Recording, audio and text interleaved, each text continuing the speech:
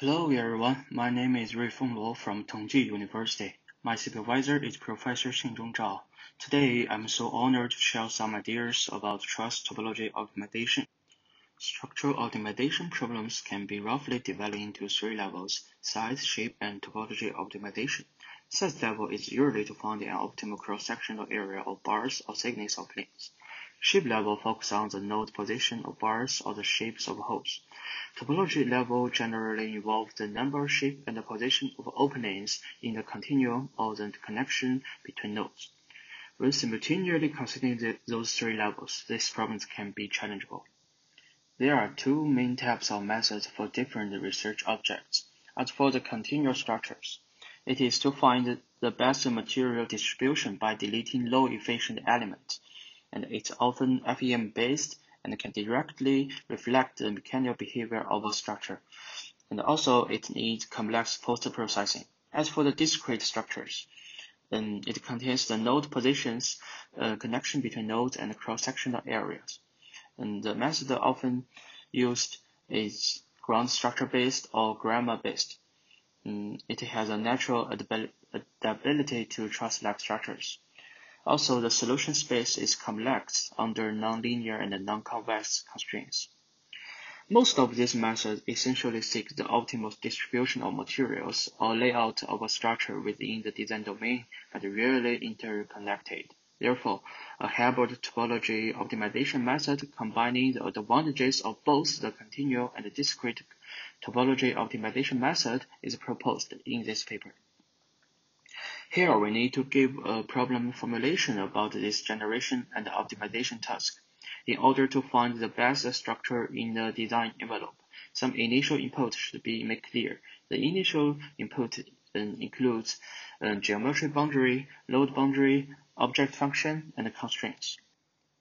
To obtain the best design, the main methods have three parts as shown in this yellow region.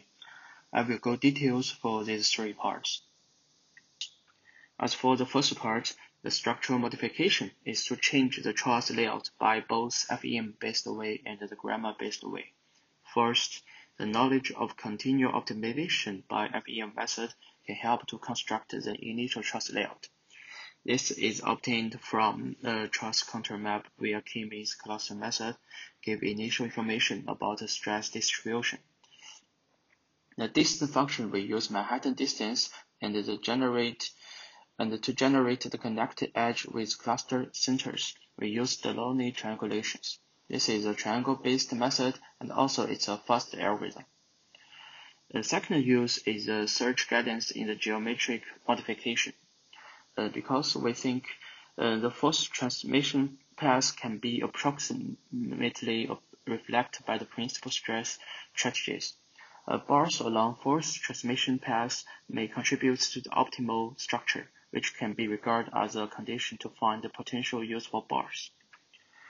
As for the topology modification, it is developed by a grammar and a graphic-based method called STSA, like human language. Make some rules with the basic structure element to generate the truss layout. For 2D cases, we use a set of triangle-based rules. There are the two pairs of rules. Rules 1 is adding and subtracting rules, and rules 2 is swiping rules. For geometry modification, as mentioned before, the node position is changed by both stochastic search and the knowledge of principal stress map. We use alpha to balance the knowledge of principal stress map and random approach. For size modification, the cross-section area of each bar is selected from a pre predefined discrete section library. Here, the cost function is used in the uh, paper where P is a penalty factor for constraints violation. Uh, here we set P to a big number, expecting the uh, final result could pass all constraints. We use the simulated annealing for heuristic searching, and this is a annealing schedule. The 10-bar cantilever truss optimization problems is tested in this paper. Here is the initial input. The experiment is implemented by MATLAB, including clustering, simulating annealing, and structural analysis. Here is the result of the FEM-based FEM method, the clustering result and the principal stress distribution. Compared with pre previous published results, the proposed method can generate better solutions um, uh, from the table. The best layout is shown in the picture. The red edge presents the bar in tension, and the blue one, uh, blue one represents the bars in compression, and the detailed information can be found in this table. Mm, when doing the 10-bar experiment, uh, some other solutions are quite different from the optimal solutions shown in the uh, previous slide. Although, although these solutions are not the best during the experiment, there are still competitive solutions as multiple solution for this 10-bar planar truss problem. Here we give, give some details information. Here we come to the last part, conclusions and future work. The proposed method combines the advantages of both the continuum and the discrete structural optimization method. It is simultaneously considering size, shape, and topology optimization level.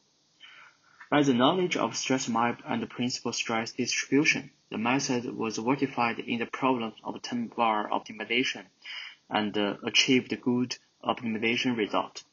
For future work, more efficient generation rules in both 2D and 3D cases would be investigated.